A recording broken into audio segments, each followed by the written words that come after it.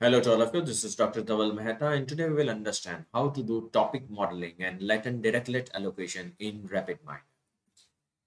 So in statistics and natural language processing, a topic model is a type of statistical model for discovering the abstract topics that occur in a collection of documents. Topic model is, is a frequently used text mining tool for discovery of hidden semantic structures in text body. There are different methods of doing topic, uh, topic modeling but most popular is latent dirichlet allocation. Other methods you can see on the screen. Now LDA, that is latent dirichlet allocation is a method which allows you to identify topics in topic document. This implementation of LDA uses the parallel topic method of the Mallet library with sparse LDA sampling scheme and data structure. Now how we can do this in RapidMiner, let's see. First of all, we will have to bring the document which contains the doc file. So here is a data. It's a 78 Independence Day speech which is available on website.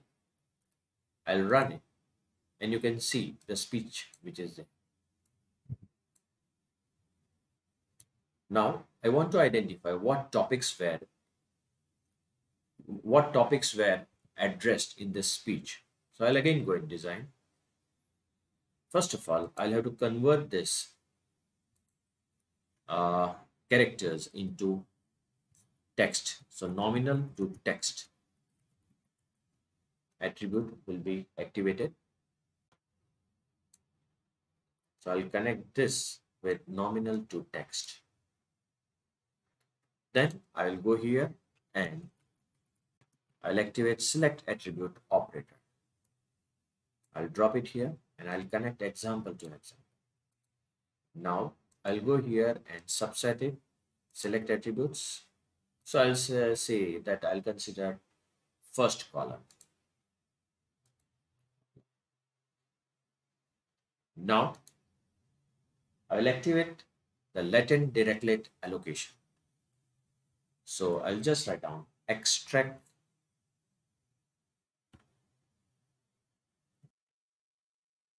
So I'll bring this extract topics from data.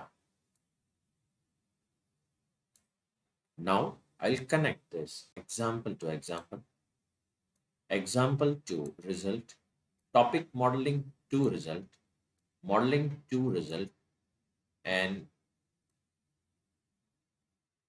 this to result. Now press the play button. It will take some time. So it is giving an error. No need to worry. We have forgotten some parameter to specify. Activate this and kindly go here and activate attribute. So basically the data was divided into two columns. So I, selected the first column. How many topics I want to identify? So 10 topics are to be identified. Topic words per topic should be 5. So in each topic, 5 words should be minimum there. And iteration should be 1000. Stop words English are to be used. Now run the play button. It will take some time.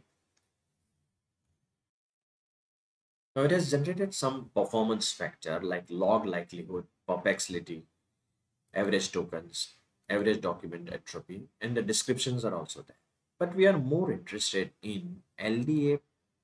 This we will see later on. This we will see first. Example set.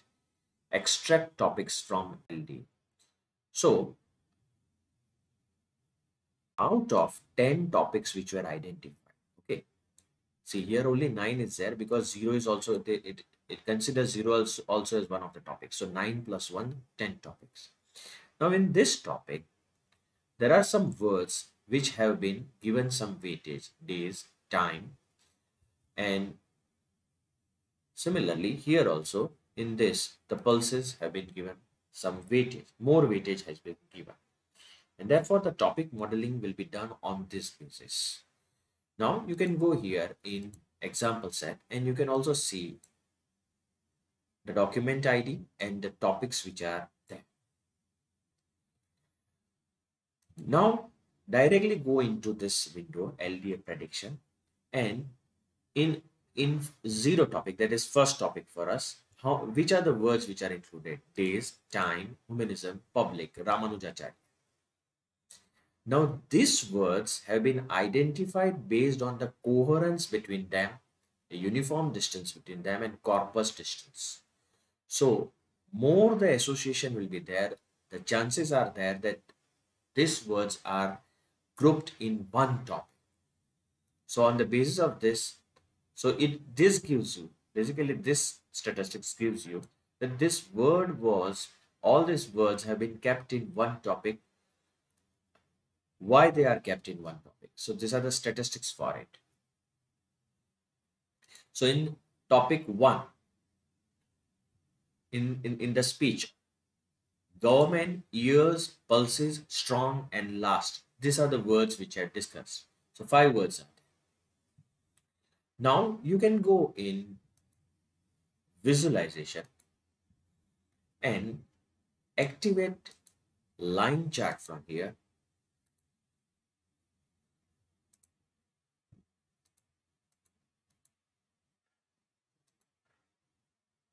And activate attribute and confidence from here. And you can see the frequency from here right?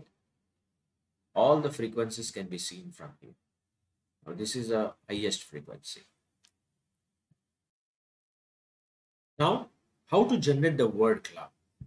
So you go here and activate this word cloud and make sure that from here you either activate weight and from value column word is activated.